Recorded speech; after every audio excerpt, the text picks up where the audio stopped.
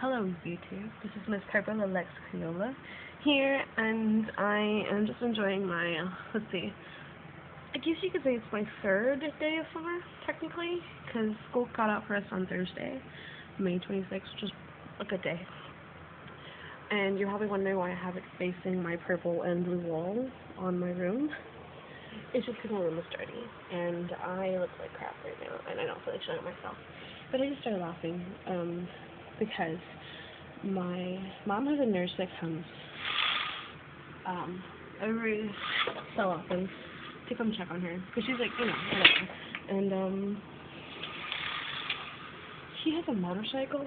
He's a male nurse. I mean yeah I like the motorcycle you know. He might get jacked one day. That's fine. I'll take it. You know beside of these other ugly cars we have. Just that one one one motorcycle. I like it. I love it. I want it. I'm gonna take it. You can't joke about that.